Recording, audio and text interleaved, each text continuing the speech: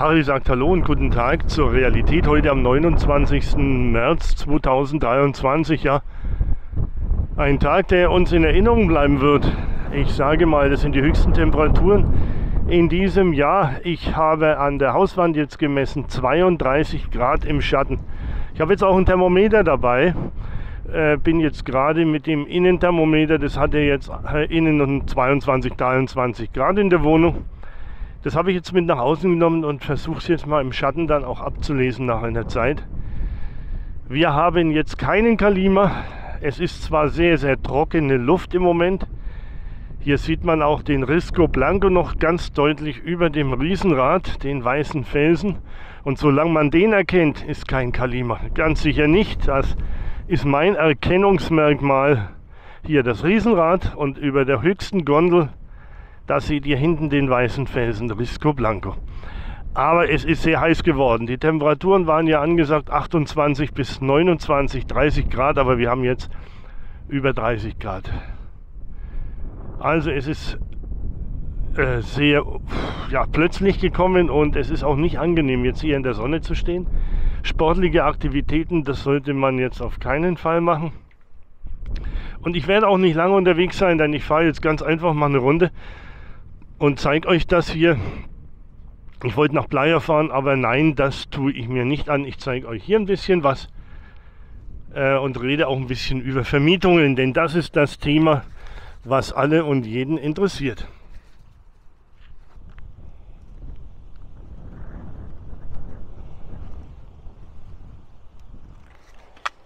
Ah, das war das Thermometer. Und das ist auch kaputt.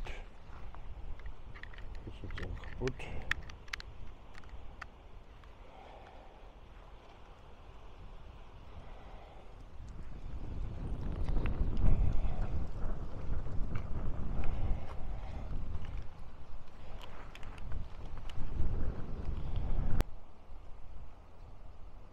Ja, 33,5 Grad zeigt das Thermometer jetzt hier gerade an.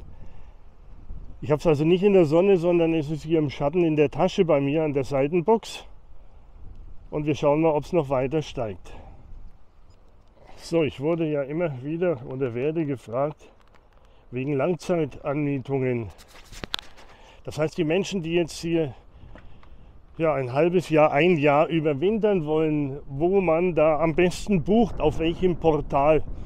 Ich kann euch keine Webseite nennen, kein einzelnes Portal. Es sind ganz einfach mehrere. Zum Beispiel Idealista, das bekannteste hier in Spanien. Inwiefern die Angebote aktuell sind auf solchen Seiten, das ist natürlich eine andere Frage. Oftmals stehen von privat oder geschäftlich Annoncen drin, die gar nicht vorhanden sind. Das bedeutet, man versucht somit eben dann Kunden zu bekommen, indem man sagt, ja, das ist jetzt gerade vermietet oder gibt es nicht mehr. Aber wir haben was anderes. Also da sollte man auf jeden Fall drauf achten.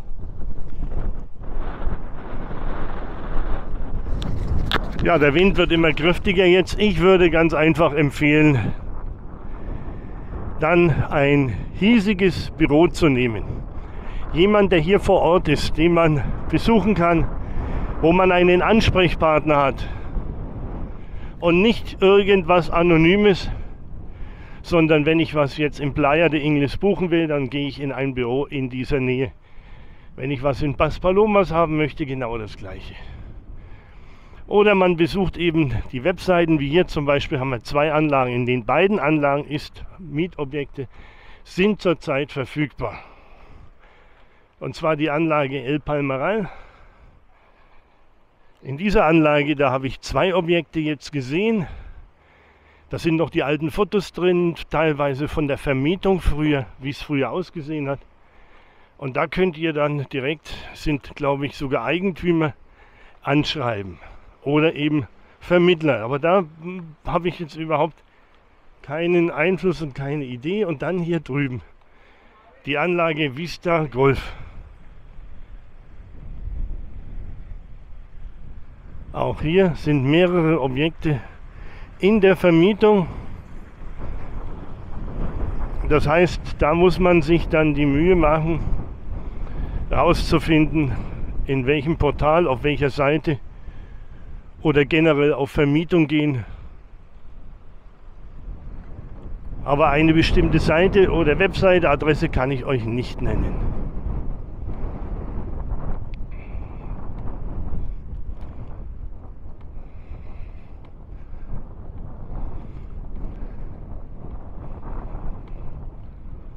So, wir fahren jetzt hier noch mal ein bisschen und dann auch nach links Richtung ähm, Shopping Center Faro 2.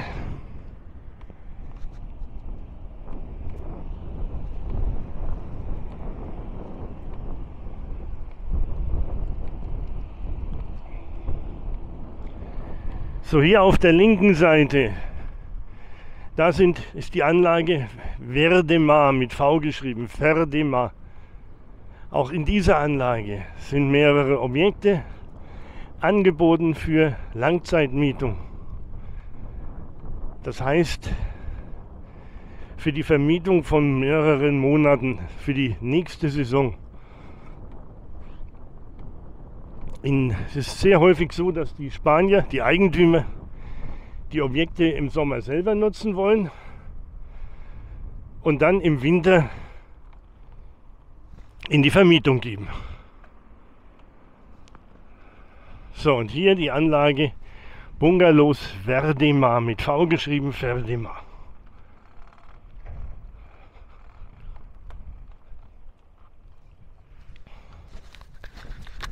Ich verstau eben mal mein Mikro wieder aus der Hand raus.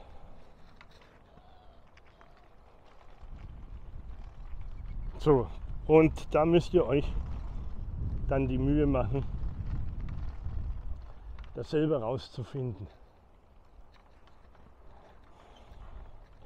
Auch war ein Kommentar, der bezog sich auf, ich lasse mal den Wortlaut so ungefähr äh, drei Monate mieten und man bekommt überhaupt keine, oh, wie heißt es, Auskunft oder keine Angebote, die wollen alle fünf und sechs Monate vermieten.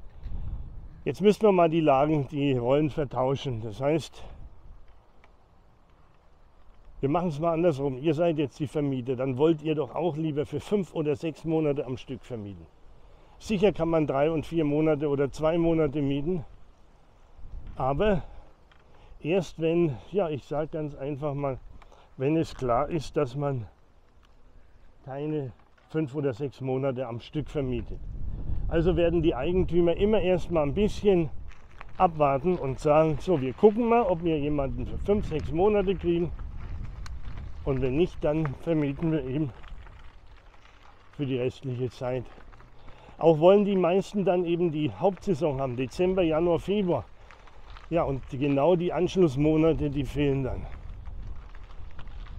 So, ich fahre hier lang, wo ihr bestimmt noch nicht oft gewesen seid.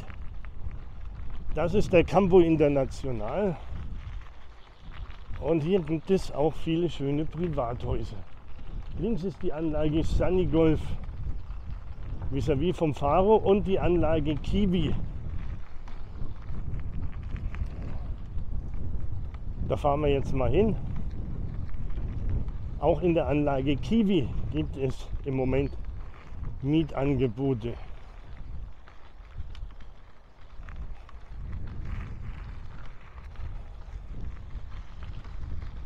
Das ist sie aber nicht hier. So, es wird Zeit, mal auf unser Thermometer zu schauen.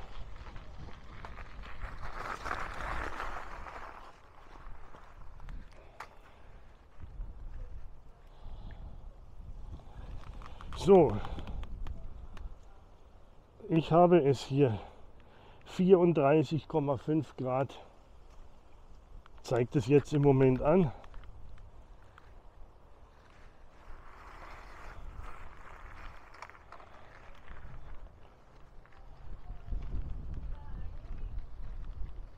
und das ist mir jetzt eindeutig zu warm.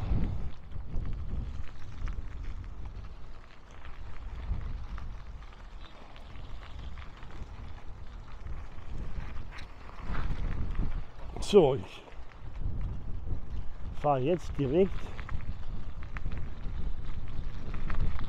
Erstmal fahren wir zu Martin und Sabine noch, damit ihr wisst, wo die ihre Praxis haben, nämlich hier in der Straße rechts.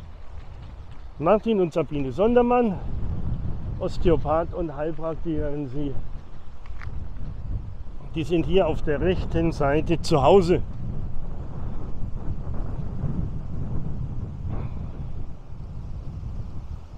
So, und auf der linken Seite, das ist die Anlage Kiwi. Auch in dieser Anlage gibt es im Moment Angebote für die Vermietung von Wochen bzw. Monaten. Das ist die Anlage Kiwi. So, und wir fahren jetzt Richtung Shopping Center und dann geht es auch direkt zurück.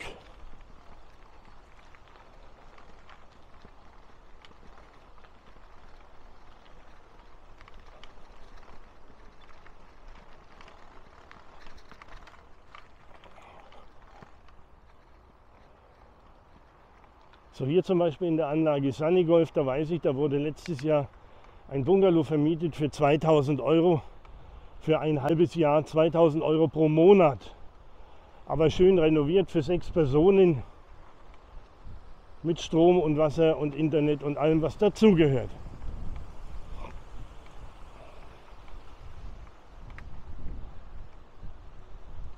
So, alle sind ein bisschen am Schwitzen.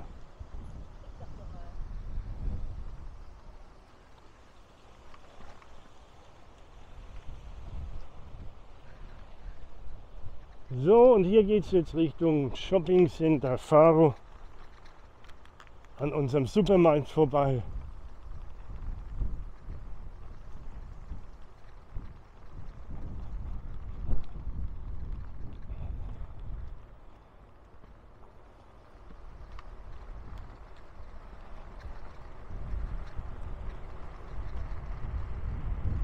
Und am, Auto, äh, am Fahrradvermieter da vorne am Restaurant Steakhouse Toro 2. Und meine Kamera, wenn ich die anfasse, dann ist die auch schon richtig schön warm. Dich wurde gefragt nach unserer Schwedin, ja, die mit dem kleinen Wagen. Sie ist immer noch hier, aber sie hat mittlerweile einen größeren ja, einen, einen, einen Wagen bekommen, einen Campingwagen, wie man würde sagen würde, einen VW-Bus in der Größe. Sie ist aber immer noch hier gestrandet. Freut sich über die Besuche natürlich auch, wenn man mal mit ihr spricht und ein bisschen vielleicht für sie übrig hat. So, wir sind wieder hier am Alberic Hockes. Das war eine kleine Rundreise und ich sage jetzt Ganz einfach nochmal mit dem Blick aufs Thermometer. Aber wärmer kann es jetzt gar nicht sein.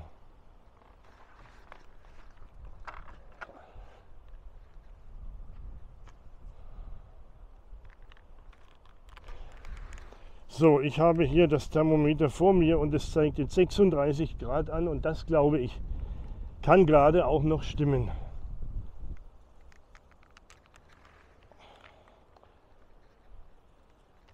So, und mit diesen Aufnahmen, da sage ich jetzt ganz einfach auf Wiedersehen, hasta luego, bis zum nächsten Mal. Ja, noch ein kleiner Nachtrag. Ich habe das Thermometer dann nochmal hier außen postiert, in den Schatten gestellt, nicht in die Sonne hier am, am Pool, wo es mit Sicherheit nicht wärmer ist wie woanders. So, und jetzt schauen wir einfach mal, was das Thermometer anzeigt. Also es hat genau 36,3 Grad. Ja, und was ist davon oder dafür dann die einzige Möglichkeit? Genau ein Sprung in den Pool und das werde ich jetzt auch machen. So, und mit diesen Bildern sage ich hasta luego.